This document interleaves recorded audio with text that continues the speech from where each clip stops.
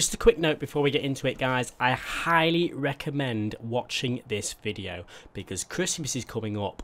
Lots and lots of new people are going to be getting Forza Horizon 4 for the first time, which is going to greatly help out this method. So if you're watching this video right now before Christmas or even before New Year, over the next couple of weeks until mid-January, this method is going to be very, very good because there's going to be so many cheap cars on the market. You'll know what I'm on about when you watch the video, but trust me, this method is going to be at its prime on Christmas Day and stuff like that. Trust me.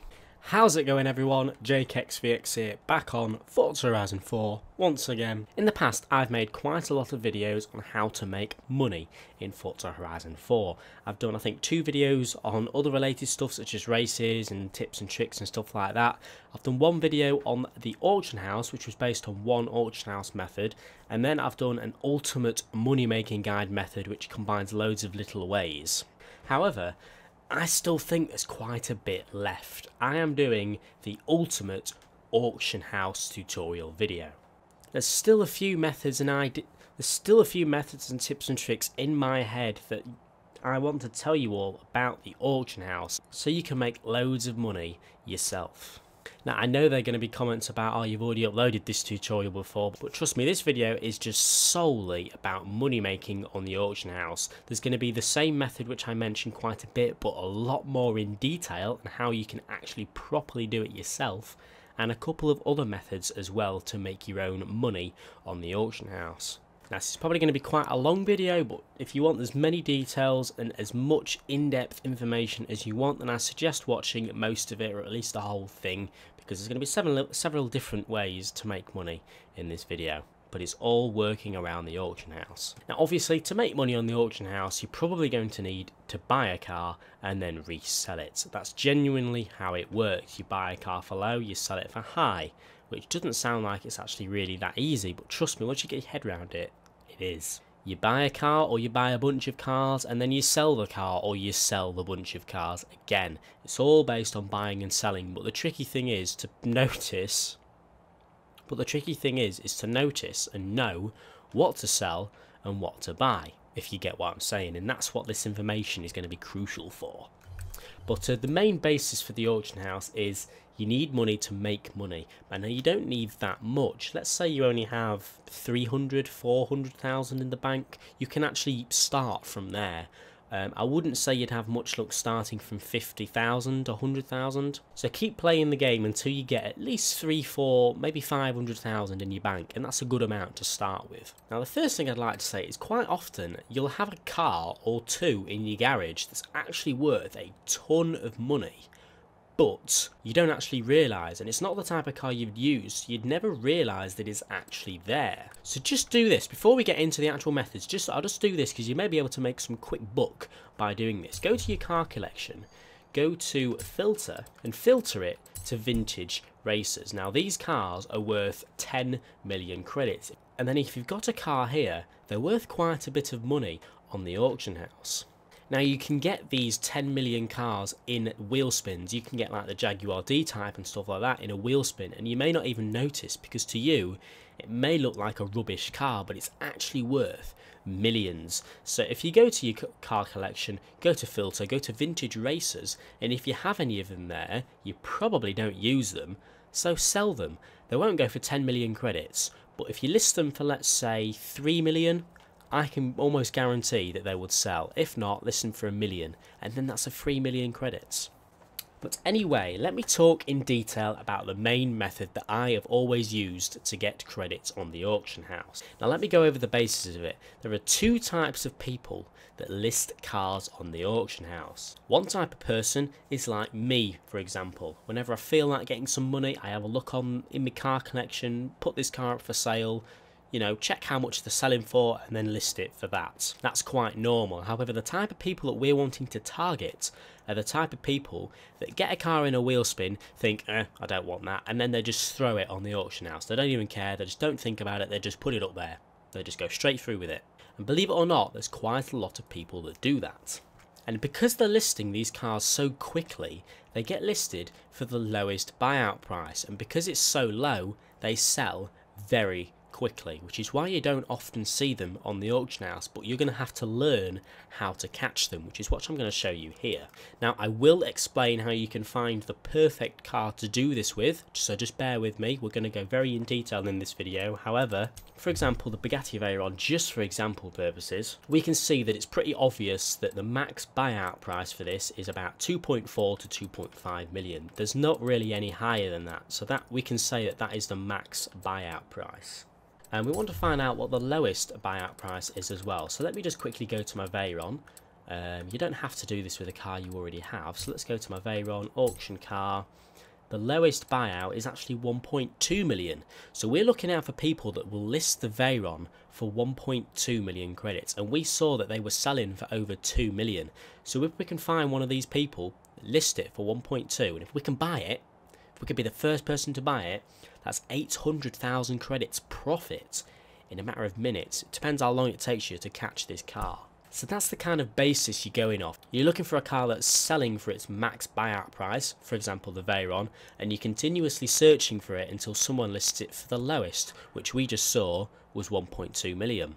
But if I do this video on the Veyron, everyone is going to be doing the Veyron. So that's why I'm going to explain how you can find your own car to do this with, so you don't have to worry about anybody else looking for the same car with you, if you get what I mean.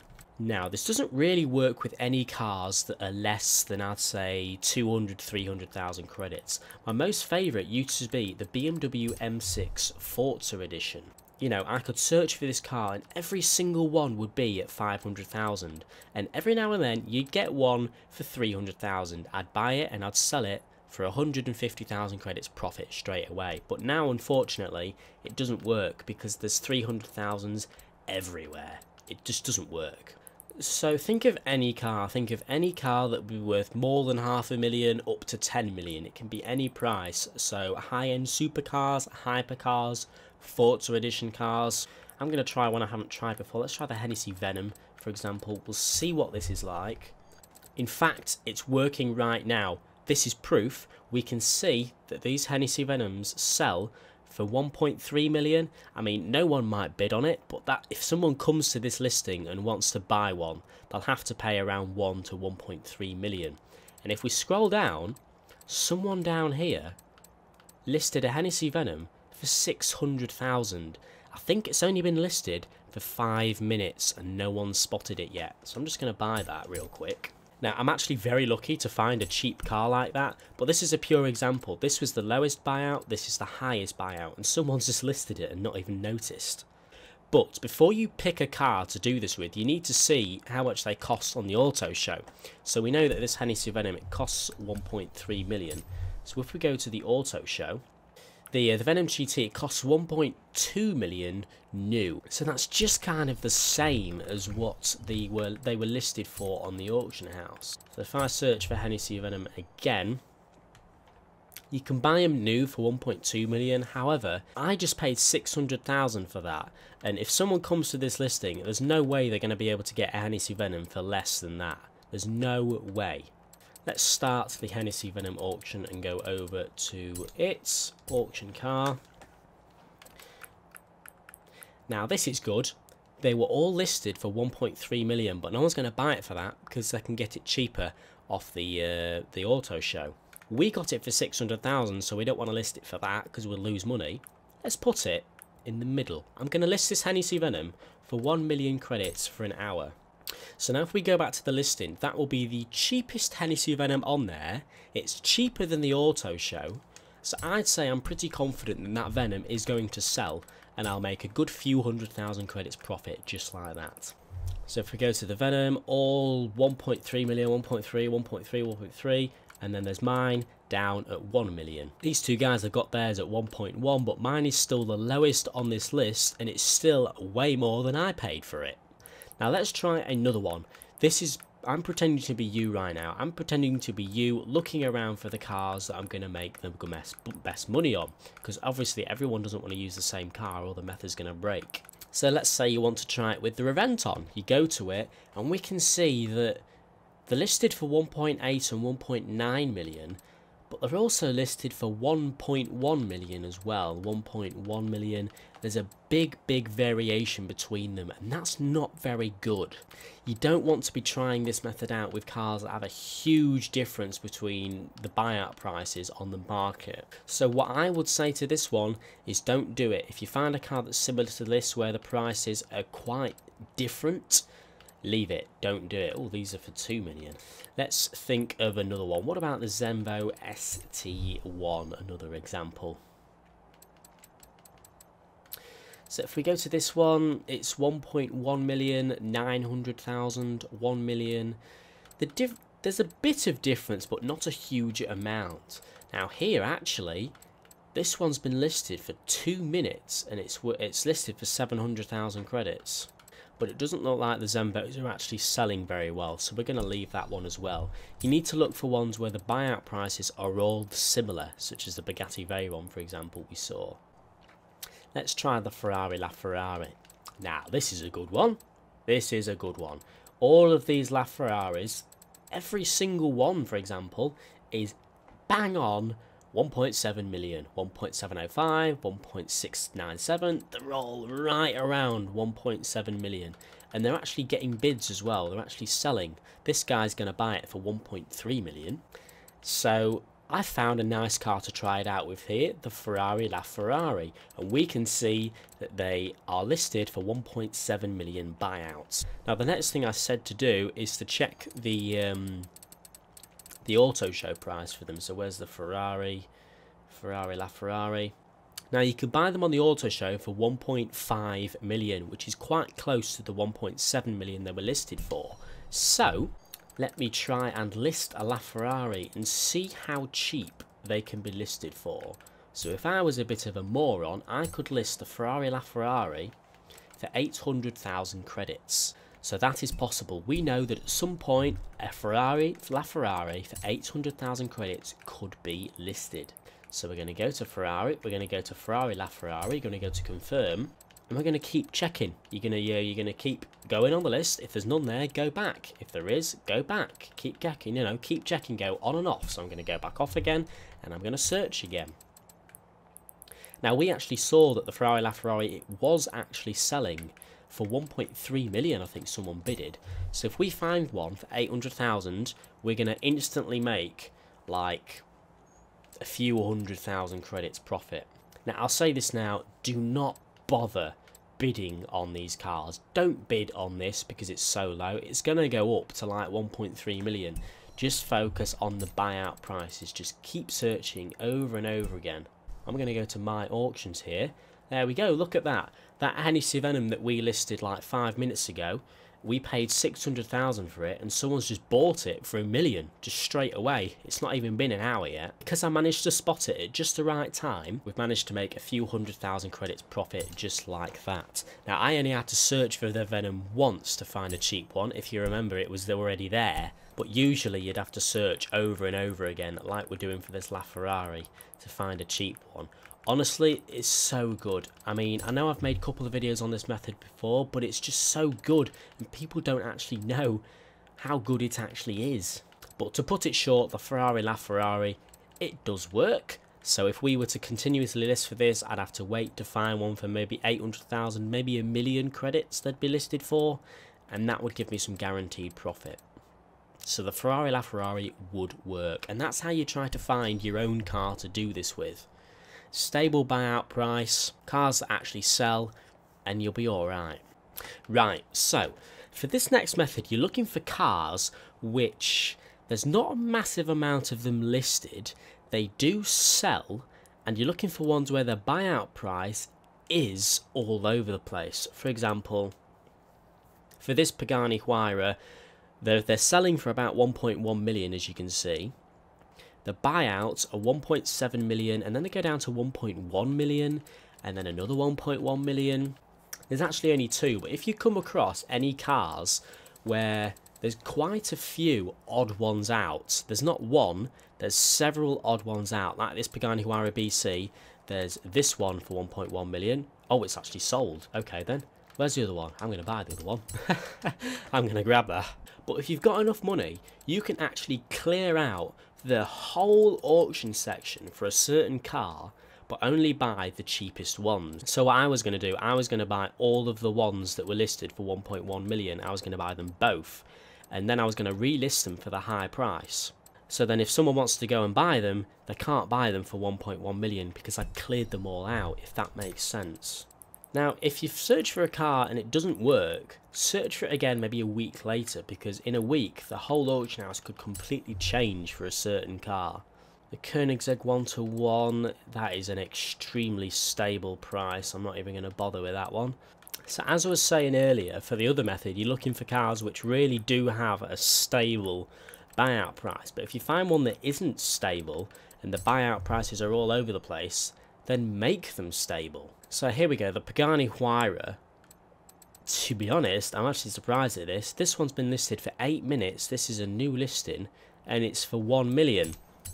And all the other ones are for like 1.4 million. So I'm just going to buy that and resell it, and hopefully they sell for more than that, because if someone wants a Pagani Huayra now, they're going to have to pay a lot more than a million, like I've just paid, because all of the others are listed for a lot more. Now something else you're going to also need to know is the time of day. There's two different times of day that this method will work. It Well, it works throughout the whole day, but it's kind of different from one half of the day to the other half of the day, and I'm going to explain how, why. Now, it may not be the same over Christmas, but think of it this way. I don't go to school or college. I've already been to all that. I've got loads of different incomes coming in at the moment. I'm doing fine, but that means that I can be on Forza at any time during the day. And I've noticed when I'm on in the middle of the day, when people are either at school, at work, or asleep in other parts of the world, there's not many cars being listed on the auction house at all. But maybe 5, 6 o'clock in the evening, when people are either when people at some parts of the world are just waking up, when people at some parts of the world are in the evening just like me in the UK, there's a lot of stuff going on in the auction house. Now, in the middle of the day at a very quiet time, you'll know when it is, you'll know where you live, and you'll know when people are at school, or at work, you'll know when half of the, half of the world is not playing video games. At times like that, there's not many cars being listed on the auction house, which means it's not going to be easy to find these cheap cars that get listed that we're to that you're trying to target. However, because there's not that many people on, there's not that many people trying to look for them as well. So you could very well look for like 20 cars and not find any. But you could search for another car and there'll be one sat there super cheap for 10 minutes that no one's seen yet because it's such a quiet time of the day.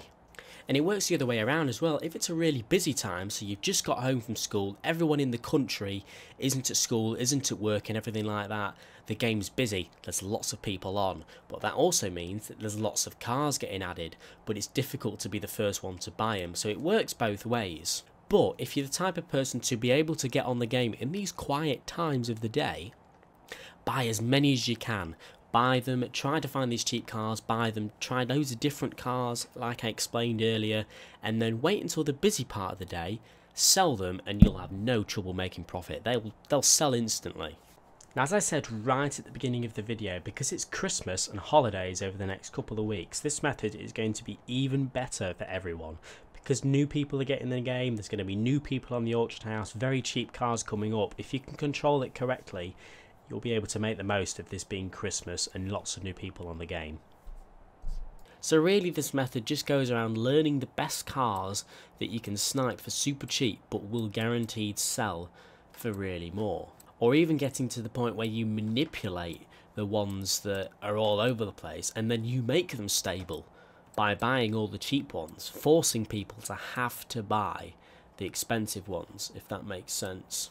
I've tried to go into detail as much as I can here. We've we've probably made a million credits profit just from doing this today and I've not even been trying really. If I just go through my garage you'll be able to see what cars these genuinely could work for because it'll be the cars I have multiple of. Um, the Bentley Continental GT did used to work at once. The M6 was insane. I used to have like 20 of these in my garage at once but unfortunately the M6 doesn't work very well anymore. The Bugatti Veyron still works very well, so please guys, go do it with the Veyron.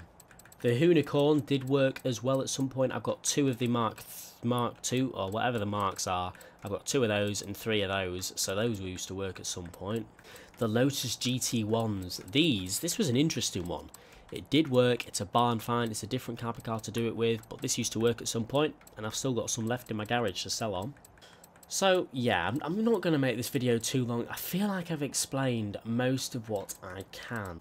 I still had people getting confused as to how this actually works properly, and I feel like this is as most in detail as I can go about all this information. And it's up to date now, it's a bit different from my other video, I've got more detail, I've told you different ways as well, so yeah, please in the comment section below, if you've had luck with this getting to work, then let us know. Tell me how much credits you've managed to earn and tell me what car it was with because I'll be curious. And then everyone else in the comment section can see that it genuinely does work. So yeah guys, please leave a like if you've enjoyed, subscribe if you haven't already for more Forza Horizon 4 content, and I'll see you all in the next video.